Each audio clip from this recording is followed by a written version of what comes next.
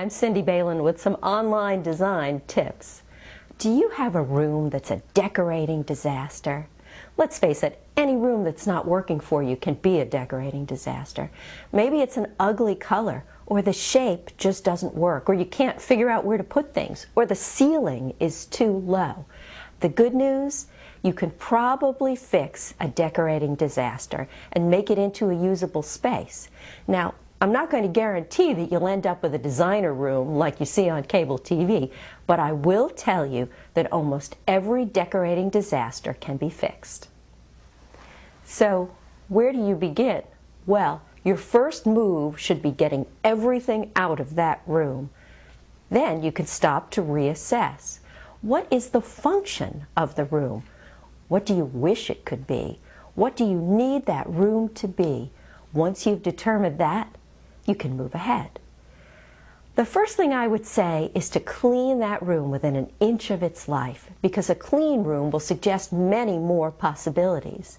Then paint it.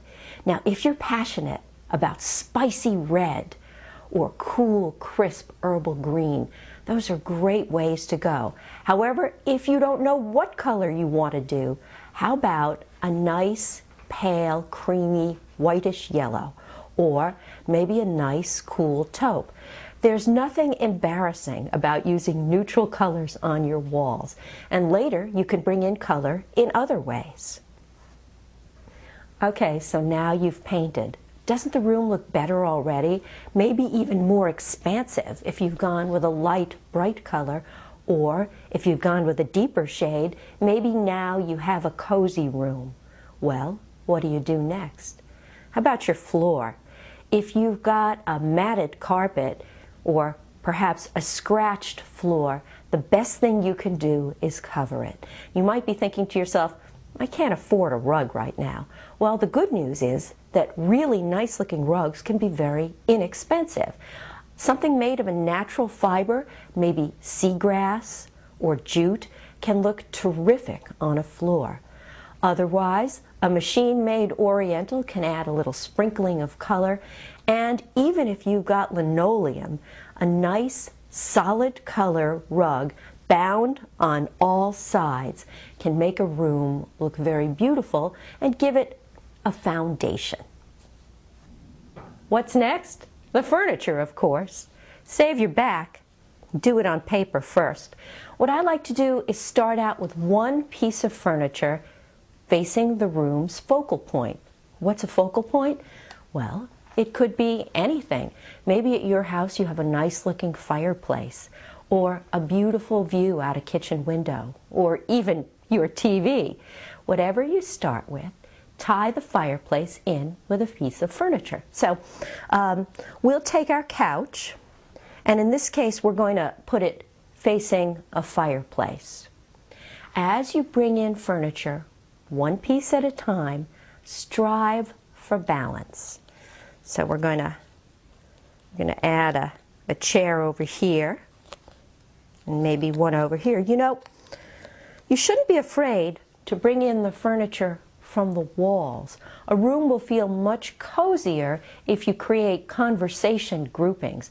Don't worry if the chairs aren't identical. They don't have to be.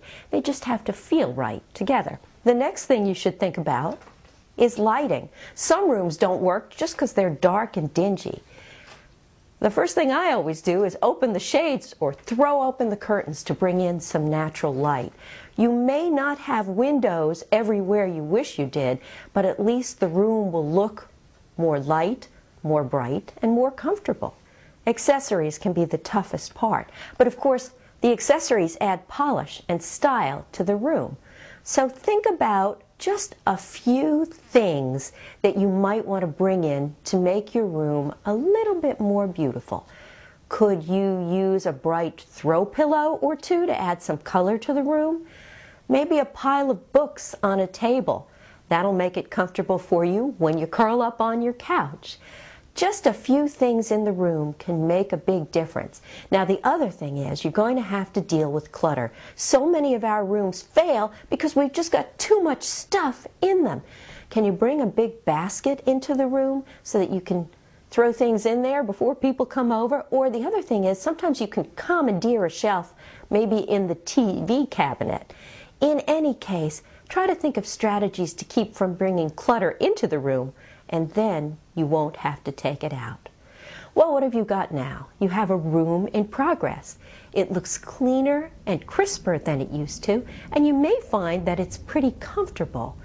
Whatever you do, make sure that you keep it free of clutter and you've got yourself a room to call your own. Thanks for listening. I'm Cindy Bailen. For more online design tips, visit my website at www.orangesandlemonscolors.com.